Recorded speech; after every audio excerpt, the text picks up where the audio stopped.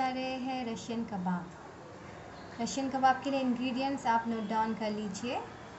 इसके लिए आपको चाहिए potato around three coriander leaves half cup and carrot मैंने एक लिया है यहाँ पर, बहुत ही थिनली चॉप किया हुआ।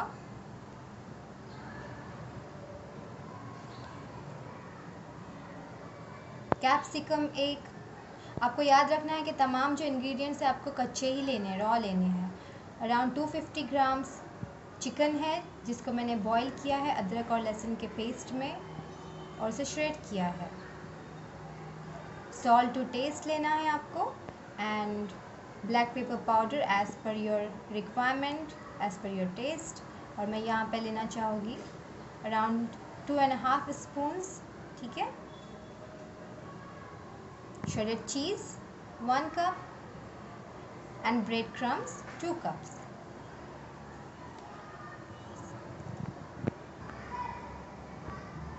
अब तमाम इंग्रेडिएंट्स को हमें मिक्स करना है। पटेटोज़ और चीज़ जो है, हम इसे फ़र्स्ट स्टेप में हमें मिक्स करना होता है, क्योंकि लिए चीज़ को हम और पटेटोज़ को बहुत अच्छे तरीके से मिक्स करते हैं। So mix all together cheese and potatoes well mash properly उसके बाद आप सॉल्ट ऐड कीजिए। स्प्रिंकल कीजिए सॉल्ट अच्छे तरीके से।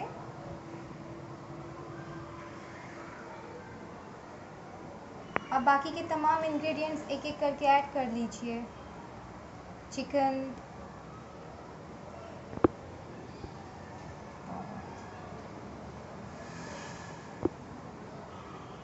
याद रखिए, जो पटेटोज़ है, वो अच्छे तरीके से मैश होना चाहिए, ठीक है?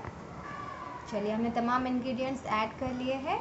एंड में हम ऐड करेंगे black pepper powder black pepper powder and में इसलिए हमें ऐड करना है कि बाकी के जो इंग्रेडिएंट्स है, उसमें अच्छे तरीके से वो ऐड हो जाए एब्जॉर्ब हो जाए। और फिर अच्छे से, जैसे हम नी करते हैं, जो हमारा आटा होता है गूंदते हैं, उस तरीके से आपको गूंदना है। ताकि तमाम इंग्रेडिएंट्स आपस में मिल जाए और जो कबाब का सॉफ्ट लुक होता है, वो सॉफ्ट टेक्सचर इसके अंदर समा जाए।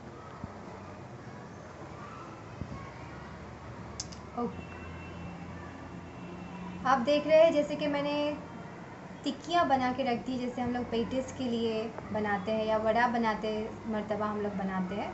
ज़्यादा थिक नहीं होनी चाहिए, ना ज़्यादा थिन होनी चाहिए, क्योंकि हमें इसे डीप फ्राई करना है। ठीक है?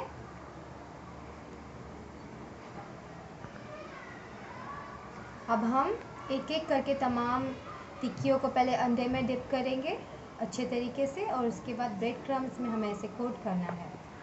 ब्रेड क्रम्स में अच्छे तरीके से कोट करना है क्योंकि लिए हम जब इसे फ्राई करते हैं तो जो चीज़ है वो मेल्ट हो जाता है और इसी वजह से हमें ब्रेड क्रम्स उस पर इस तरीके से कोट करना है कि चीज़ मेल्ट ना हो जाए और हमारे कबाब ब्रेक ना हो जाए।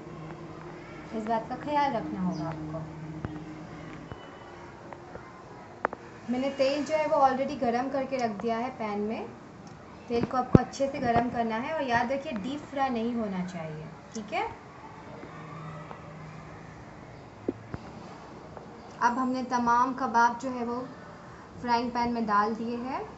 और याद रखिए कि कबाब जो है वो कभी भी शैलो फ्राई होते हैं मीन्स डीप फ्राई नहीं करना है आपको इन्हें। अगर आप डीप फ्राई करोगे तो जो चीज़ है वो मेल्ट हो जाएगा और आपके कबाब जो है वो टूट जाएगी। न ज़्यादा डीप होना चाहिए और ना ही ज़्यादा कम ऑयल होना चाहिए। मीडियम ऑयल में आपको इसे फ्राई करना है लो फ्लेम पे और गोल्डन ब्राउन होने तक आपको फ्राई करना है। तो गाइज़ हमारे रशियन कबाब रेडी है। आप इसे कोरिएंडर से गार्निश कीजिए और सॉस के साथ में सर्व कीजिए।